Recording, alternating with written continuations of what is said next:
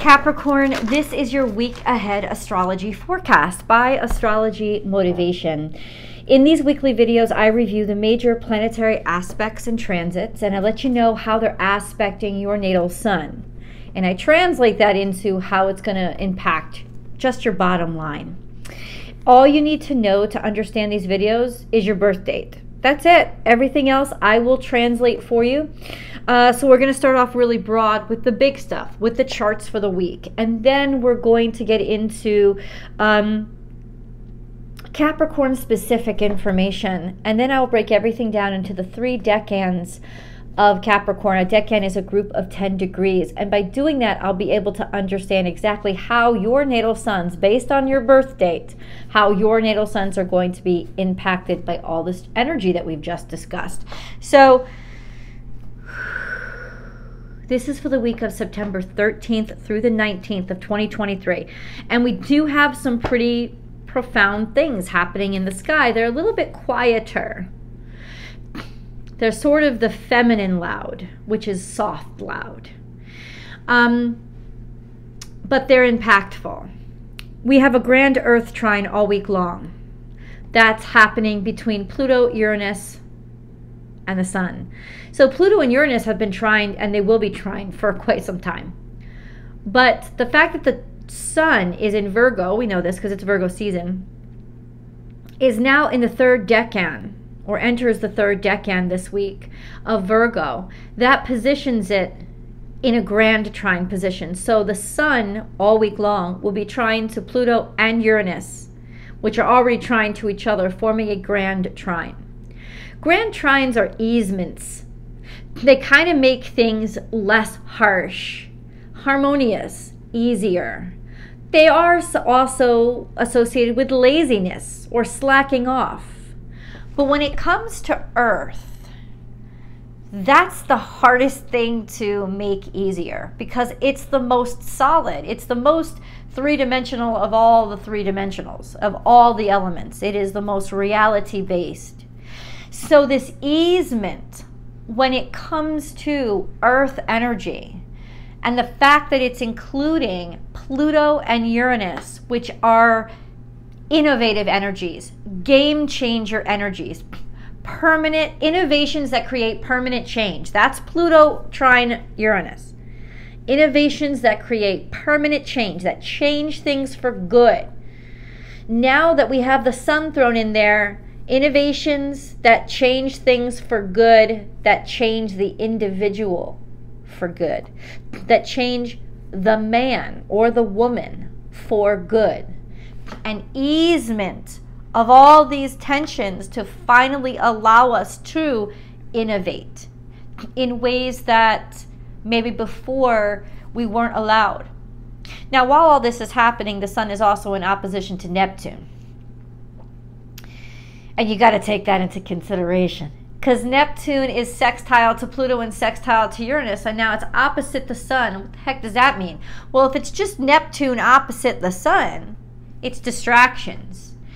It's almost like self delusion, delusions, not delusions of grandeur. That's more the sun opposite Jupiter. But an unclear vision of who the heck I am. Easily being distracted from what is my purpose and what's important to me and being made vulnerable to the point of I may believe things about myself or about how people treat me, it's really easy to play on somebody's ego when Neptune is in opposition to the sun. Because this is when it is most slack. It's when it's weakest. It's when how you view yourself is is at its most fantastical. So, what does that mean when it's part of a grand trine that creates innovation of the person? Now, it could create opportunity where people are now not so judgmental or pre- like the, the criteria aren't so predictable and they'll be more open to the oddball or the oddity or the person that may not have gotten through any other way because they see them more optimistically than they normally would have. So that's op- that could be opportunity for a lot of people who felt stuck in the system, whatever system they were in. Felt like they were being blocked in or restricted. But it can also mean being able to really bamboozle somebody and take advantage. And to see maybe that being exposed this week. We do, after all, have Mercury coming out of retrograde. It is going direct on the 15th, which is the day right after the new moon. So the new moon happens on the 14th, which means that the moon is also going to be in opposition to Neptune. And that's real, real, real delusion. But it's also real, real, real possibility. Let's say this both good and bad things will get passed through over the next couple of days because people are more open to things that are different and they don't want to stand still. They want change. But of course, that change can come in the form of a devil with a blue dress on, of something that's disguised as helpful when it's really not, but it'll be really easy to pass. So, for all of you who are really into politics, I would watch the kinds of bills that are passing right now in your country or government because you could you could easily slip some slimy stuff through at this time. But for those of you who have needed an, a window of opportunity, and remember, that's ultimately what new moons are newness. What is this new? A new self, a new way of looking at yourself. I've also taken it to mean, in some ways, how have you been delusional about yourself?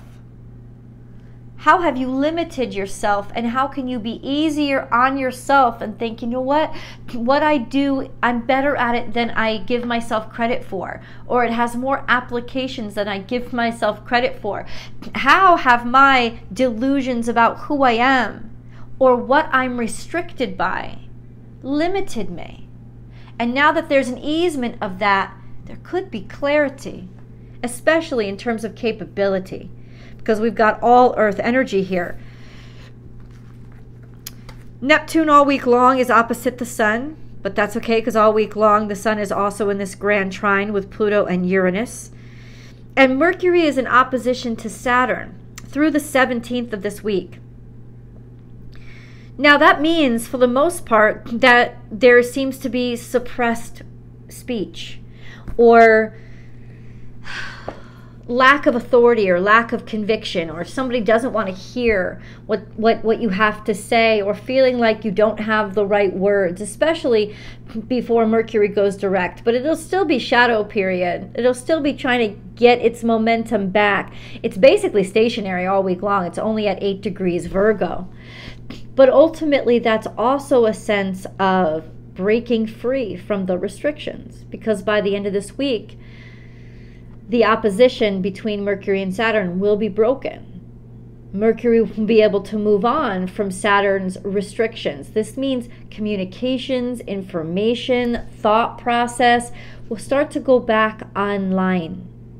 So it's really interesting to see maybe there's a trap being set for those individuals who would take advantage of others. And then we can see it and it can expose itself and once Mercury goes direct, we can do something about it. So, Venus is also very optimistic, I've got to say. Venus is presenting us with a square to Jupiter, a trine to Chiron, and a sextile to Mars.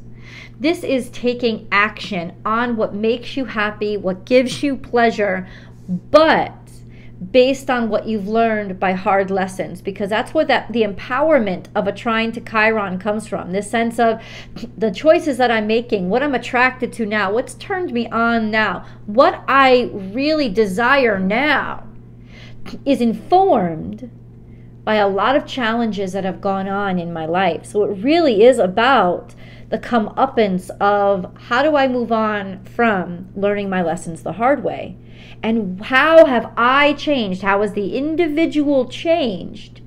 How have I changed how I see myself and what I desire based on the crap that I survived? And I like that energy because it's productive, it's innovative, but it's also realistic and responsible. And I like that energy.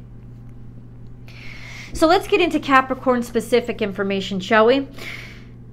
Saturn, what is going on? Saturn is your ruling dignitary. So I look at two things. I look at what's going on in Capricorn, the zodiac sign, makes sense, right? And then I look at what's going on with Saturn. So what's going on in Capricorn? Pluto. Pluto is still at 28 degrees Capricorn, and I think it will retrograde back to about 27 degrees. But Capricorn right now is still being visited by Pluto, and it will be into next year. Oh, no, no, maybe I'm wrong about that. I'm not sure about that. But still there, a couple of months. What's going on with Saturn? Saturn is still in Pisces at 2 degrees. It's not going to shift because it's actually going to it's actually slowing down its retrograde now. I don't think it's it's not coming out of retrograde right now, but it's going to be coming out of retrograde relatively soon. So we're going to see it's not retrograding as much as it was. It is in opposition to Mercury through the 17th.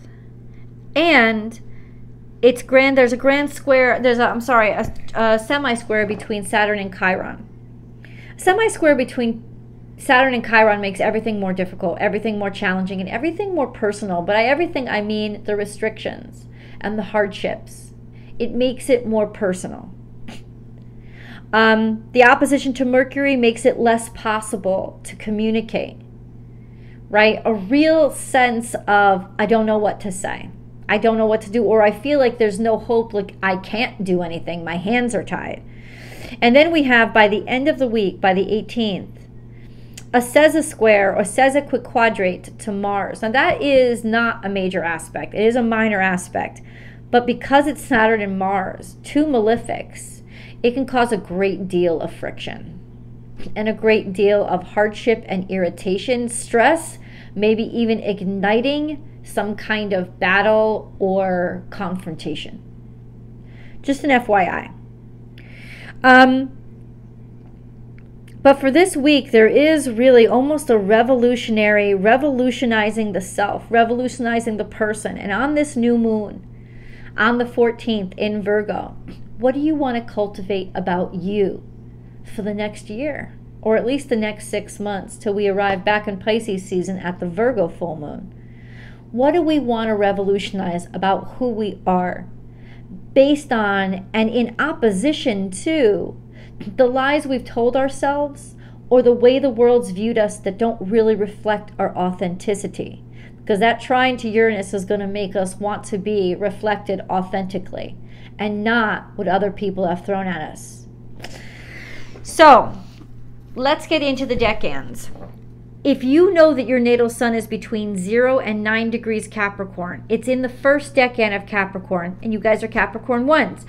This correlates to Capricorn birthdays, and the birthdays are always an estimate, guys. So the most accurate way is to check your natal chart, and it's free and easy to get them once you have three things your birth date, which you already have, your birth time, and your birth location. You need that to get a full natal chart. So once you've compiled that information, you can go to a number of websites, plug in that info, and it'll spit it out in a couple of seconds.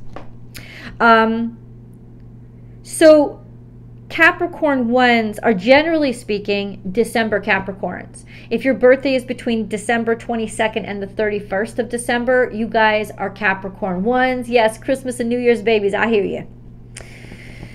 Your natal suns are sextile to Saturn, which is phenomenal because it means progress and you're taking yourself seriously and other people are taking you seriously. And that could really be effective for career building. And that's all year. So you've got the time and you've got the assistance all year. But it's also this week trine to Mercury which means that whatever's going on to Mercury, there's an easement when it comes to your brain, what you think, and how you're able to speak. There's an eloquence and an ease with which you can communicate your ideas. This is a phenomenal time to give interviews, take tests, make presentations, however you want to present, uh, especially if it's in written form or it's in spoken form.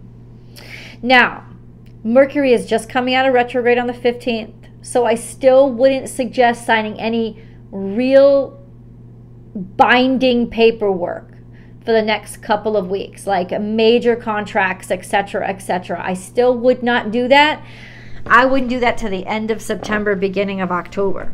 Like mortgages and things that, you know, your ass will be on the line if you sign them to. But, you know, because especially with that sun opposite Neptune, you could be tricked into taking things a little bit too easy or not being taking things too seriously or not seriously enough. And that easement where it can create opportunity could also create a bigger field for distraction. But when you want to present and you want to communicate this is a really beautiful time for you. Just letting you know. Now if you are Capricorn 2s, your natal sun is somewhere between 10 and 19 degrees Capricorn. This usually correlates to birthdays between January 1st and January 11th. Your natal suns and this is why you got to kind of know where your natal sun is located because I tell you, horoscopes just don't do it. You're not all being impacted the same way. Your natal suns are semi square to Saturn, which means there's friction with your career, or if not friction, whatever's happening is putting a spur in your side to make you take action and change things. But it's going to become, but it's through like friction, it's through irritation. So even though the end result may be progress, it's a little bit more difficult for you guys. Your natal suns are also square to Chiron, and that's a long term square. That ain't going nowhere for a while.